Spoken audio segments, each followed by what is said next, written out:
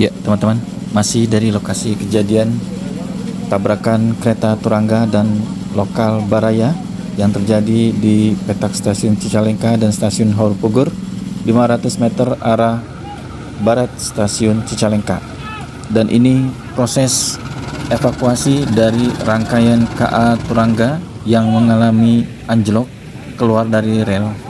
Ya, kecelakaan dua kereta di jalur yang sama cukup mengagetkan, apalagi ini terjadi di awal tahun 2024. Kecelakaan kereta api Turangga dan lokal Baraya terjadi hari Senin pagi sekitar pukul 6 lebih 30 menit di petak stasiun Cicalengka dan Haur Pugur, tepatnya di 500 meter arah barat stasiun Cicalengka. Pada kecelakaan ini terdapat empat orang meninggal dunia, di antaranya masinis dari lokal Bandung Raya, asisten masinis lokal Bandung Raya, satu prama dari KA Turangga, dan satu security dari lokal Bandung Raya. Dan ini adalah proses evakuasi dari rangkaian KA Turangga yang sebagian dari rangkaian KA Turangga ini sudah dievakuasi ke stasiun Cicalengka dan ini eh, detik-detik uh, penarikan rangkaian KA Turangga dan proses evakuasi satu korban yaitu Prama dari KA Turangga.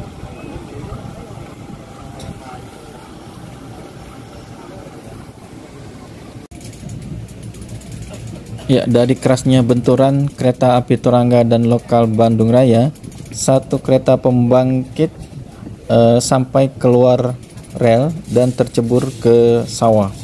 Dan ini detik-detik mendegangkan proses pengangkatan atau proses pemindahan gerbong yang keluar dari jalur untuk dipasangkan ke relnya kembali.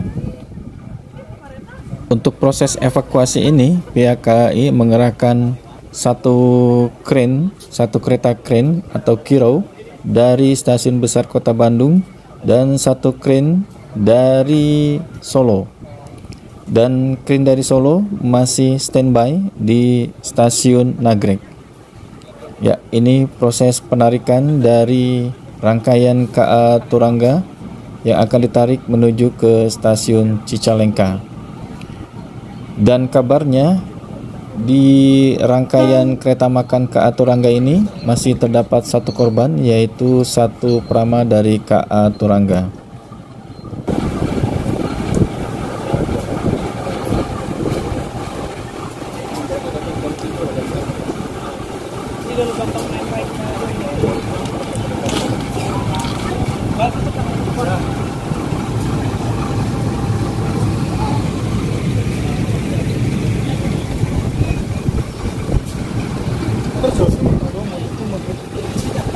Eh, mas,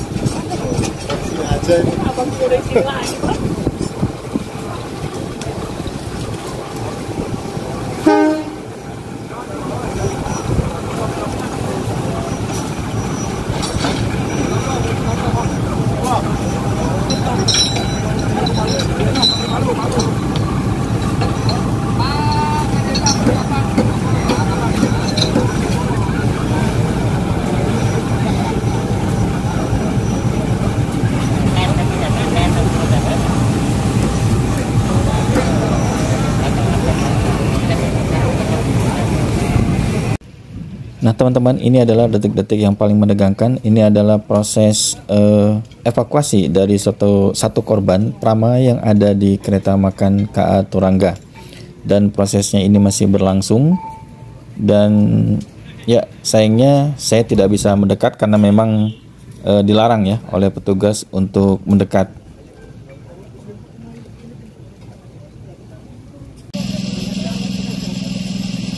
Ya, para petugas gabungan dari KAI, dari Basarnas dan juga dari KNKT dan juga dari para relawan bahu membahu untuk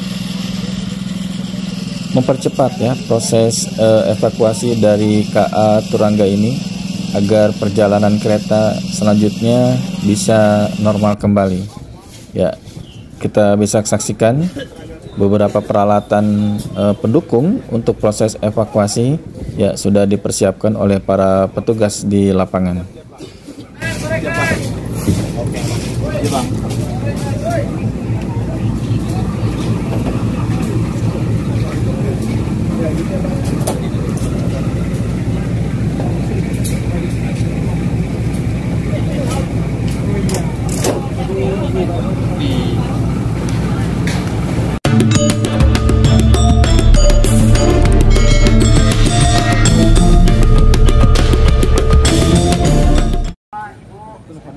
Proses evakuasi dari dua kereta yang terlibat kecelakaan dalam satu jalur ini dilakukan hingga malam hari. Dan ini sore hari eh, empat dari eh, lima dari rangkaian KA Turangga sudah berhasil dievakuasi dan dibawa ke stasiun Cicalengka.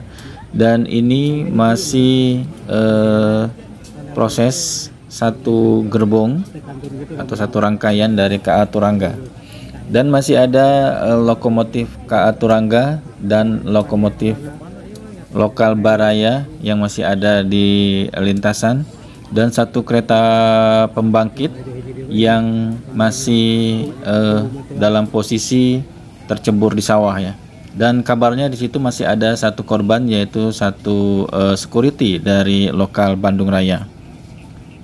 Proses evakuasi ini dilakukan dari dua arah, dari arah uh, barat dan arah timur. Dari arah timur dari arah stasiun Cicalengka dan dari arah barat dari arah stasiun uh, besar Kota Bandung. Ya, nampak uh, kren kiro dan kereta penolong di sisi barat masih terus melakukan evakuasi dan kita lihat uh, lokomotif lokal Bandung Raya yang keadaannya ini cukup memprihatinkan ya kita bisa lihat uh, betapa uh, besarnya impact atau benturan dari kedua kereta ini. Dan ya kalau bisa disebut ya seperti adu banteng ya. Karena dua kereta berkecepatan berkecepatan cukup tinggi melaju di di satu jalur yang sama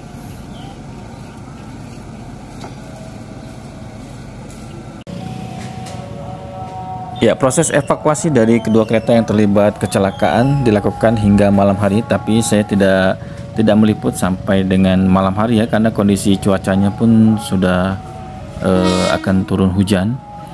Dan saya lanjutkan di keesokan harinya.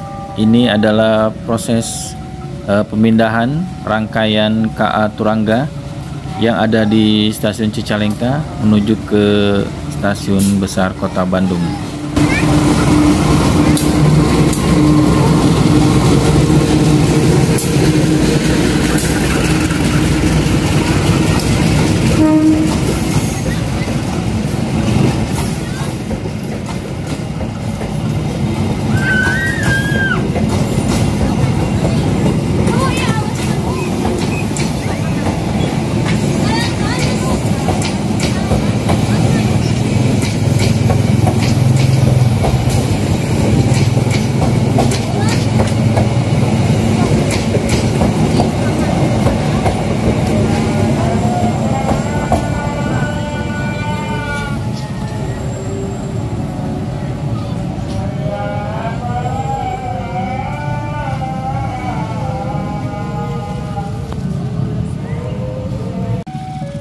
Ya, sehari setelah kejadian kecelakaan ke Turangga dan lokal Baraya, jalur kereta api eh, dari stasiun Cicalengka menuju stasiun Bandung ini sudah mulai normal dan sudah bisa dilewati dengan beberapa kereta tapi dengan kecepatan terbatas. Dan ini eh, masuk KA lokal Bandung Raya dari stasiun Bandung tujuan akhir stasiun Cicalengka.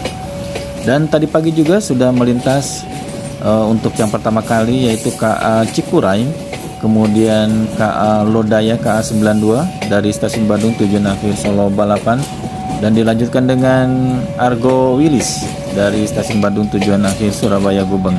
Dan kemudian uh, kereta berikutnya ada Pasundan tambahan dan ada Lodaya tambahan.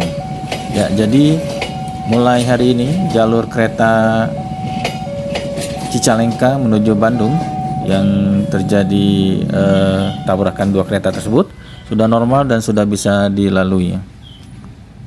Dan di sana dari kejauhan terlihat ada lokomotif KA Turangga yang ditutup dengan terpal biru dan rencananya ini akan dipindahkan dari stasiun Cicalengka menuju ke stasiun Bandung.